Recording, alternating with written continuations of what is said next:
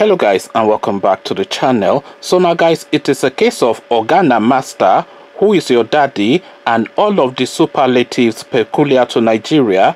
As guys i bring you this apc bans group loyal to aregbesola as rumors of rift with tinubu intensifies. So it is a case of uh, who is the alpha one really amongst these two? This is the contention now because of course you know that malam buhari made uh, aregbesola the minister of interior a high profile position and that of course has now flashed him up as a yoruba champion. And you'll recall what tinubu did to ambode of course. He doesn't want any yoruba face popping up in prominence to rival him for that uh, 2023 presidency. So again, the headline, APC bans group loyal to Aregbesola as rumors of rift with Tinubu intensify. So now let's now see what Yawa is going on in Yoruba land. The Governors Advisory Council, GAC, on Tuesday announced the dissolution of all political groups within the All Progressive Party APC in Lagos State. GAC, the highest decision-making organ of the party in the state, announced the dissolution at the end of a meeting in Lagos. The APC chairman in the state, Alhaji Tunde Balogun, who confirmed the decision to journalists, said the move was to strengthen the unity within the party. He said, Yes, it is true. All groups have been dissolved. The decision was taken this afternoon, Tuesday. You are a member of the APC and nothing more. No more groups within the party. We are all under the APC. Balogun added that the Justice Forum the mandate group, which Aregbesola largely oversees, and other influential groups in the party were all affected by the ban. However, the APC chairman was silent on whether the development had to do with any rivalry between the Justice Group and the Mandate Group. There are some reports that APC national leader Bola Tinubu and Minister of Interior Rauf Aregbesola are drifting apart politically over 2023. Reports emerged recently of Aregbesola denying any interest in a 2023 presidential bid or any political rift with Tinubu. The dissolution of the political groups come barely two weeks after Aregbesola was said to have recognized the mandate group without endorsement of Tinubu. So now internal political fighting in Lagos State, of course, because the decisions will always be made in that state. So now Aregbesola is now making moves to have some sort of a foothold within Lagos State in preparedness, of course, for 2023 because he would need Lagos State and partly Kano State too if he was to defeat uh, Tinubu, of course, uh, in that uh, bid for the Yoruba ticket for APC. So now uh, Tinubu, of course, as I said, he brooks no opposition. He doesn't have the patience or the tolerance for dissenting voice, and he doesn't allow anybody to stand in the way of his ambition. We all know the Ambode narrative because that guy's uh, star was rising and he was uh, getting a bit too shiny, and Tinubu, of course, moved swiftly to swipe him off his feet. So now this is now this narrative playing out again uh, because Aregbesola now he has that high profile uh, uh, ministry, as we said, which then puts him in close quarters with the corridors of power, and he's now moving into Lagos to have a foothold there. So the signals, the smoke signals, uh, Tinubu can see from the distance, and the writing is on the wall. And of course, nobody is ever going to rival uh, Tinubu for Lagos State. So it is a case of who is the daddy and Organa Master. This is now the beef that is going on between Tinubu and Aregbesola. Uh, conversations in the comment section come share thoughts. The Yawa that is Tinubu that uh, would have nobody challenge him for his ambitions. He cannot handle the one in uh, Kaduna State, El Rufai, but any Yoruba person that uh, crosses the line, he will give them a fase. So it is a fase now that uh, Tinubu is giving Aregbesola from the reading of this. What is your reading? Come share thoughts. But before you do that, click on the red subscribe button so it turns gray. Bell button notifies you every time I drop a new video. Then come tell me what you're making of this development in the comment section. So I'll leave you here. Carry this conversation on with you in the comment section. But here, I say peace.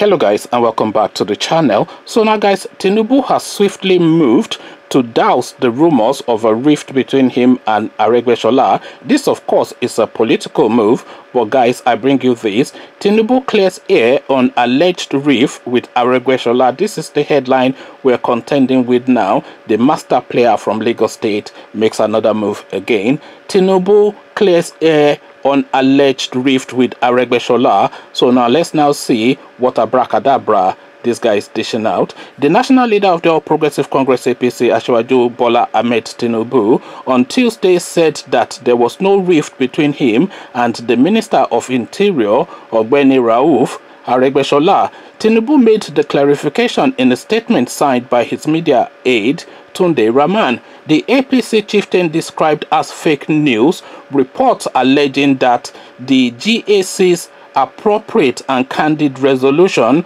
had worsened a phantom Cold War between Ashiwaju Bola Tinubu and the Minister of Interior, Ogbeni Rauf Aregbesola. The statement said, Today the Governor's Advisory Council, the highest decision-making body within the All Progressive Congress in Lagos State, passed a resolution calling for the disbandment of all factional groups within the party. This was to promote discipline, harmony, and cohesion and engender party supremacy. The APC is one united political family in Lagos. This is a figment of the imagination of the news organization that authored the report. Ashiwaju Tinubu remains Ogbeni Aregbesola's leader. The former governor of Osun State has been unswervingly and wholly committed to the progressive ideology of Tinubu political family. There is no war, cold or hot, between them. There has never been and there never will be. Ashiwaju believes in him and he believes in the APC leader. Our political family remains strong we are staying focused on our commitment to building and maintaining a cohesive political party. The GAC is a strong body within the APC political leadership in Lagos. Its resolution is not targeted at any particular individual or collection of individuals. The resolution was to restate the often stated position that the only group known to us is APC and not any of the factional groups. It was to renew the commitment to APC and its unity. Ogbeni Aregbesola is a strong member of the political party. The GAC position does not imply any division within the group. The resolution is well-meaning and it should not be misinterpreted.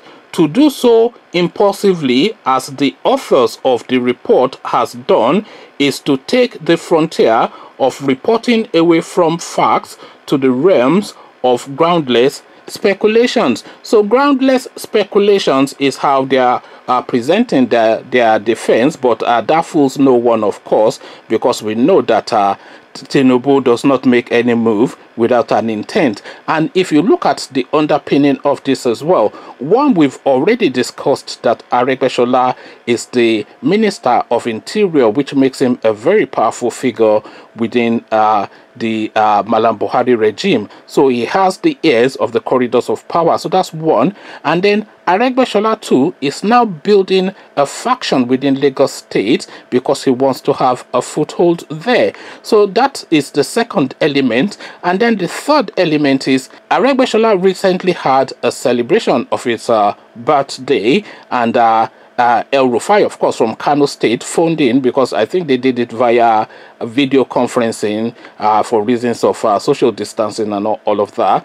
And uh, El Rufai phoned in. Uh, El Rufai made an appearance uh, via video at that event to eulogize about uh, Aregbesola one and to pointedly state, and I did a video on this uh, on this channel, so please go look through the playlist and you see it, and to pointedly say to uh, Tinubu that he is in confrontation with him, that he doesn't like him. So what he said uh, at that party, what El Rufai said to Aregbesola then was that you, Aregbesola, you are my man any day, any time, but the uh, Ashiwaju that you follow Bola Tinubu is not my man because we have differences. These were his words. So it's a pointed pointing of the finger in the direction of uh, Tinubu to say, my man, we get beef. So this was what happened. So now Tinubu is now seeing all of these things coming together. Your enemy's enemy is my friend, what, however that saying goes. So he's now seeing all these uh, things are taking shape and he has moved uh, swiftly, of course, to secure his base because he knows that if he continues to secure Lagos State, then one, he has the mass that is Lagos, he has the wealth that is Lagos, and he has the political push that is Lagos to propel his presidential ambitions. So this is just whistling in the wind. Of course, this uh, cleared the air uh, on alleged rift with uh, Regbeshola. Of course, they are in open warfare. Not in open warfare, but they are they are eyeing each other at least from a distance. If it's not open warfare yet, because these sort of people they don't uh, do open warfare, especially Aregbesola, who's too savvy, and uh, Tinubu, who is uh, very sleek. So the open warfare will be from uh, people like El Rufai, but these ones they'll be uh, pinching each, each other under the table. This is what is going on. So pinching under the table is the narrative now of the relationship between Aregbesola and Tinubu. What says you? Come share thoughts. But before you do that, click on the red subscribe button so it turns gray bell button notifies you every time i drop a new video then come tell me now what you're making of this uh developing relationship or developing beef should i say between Aregbesola and Tinubu in the comment section. So i leave you here. Carry this conversation on with you in the comment section but here i say peace